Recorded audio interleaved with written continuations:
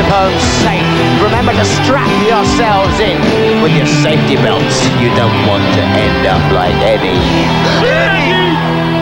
Belt up. Don't be a dummy.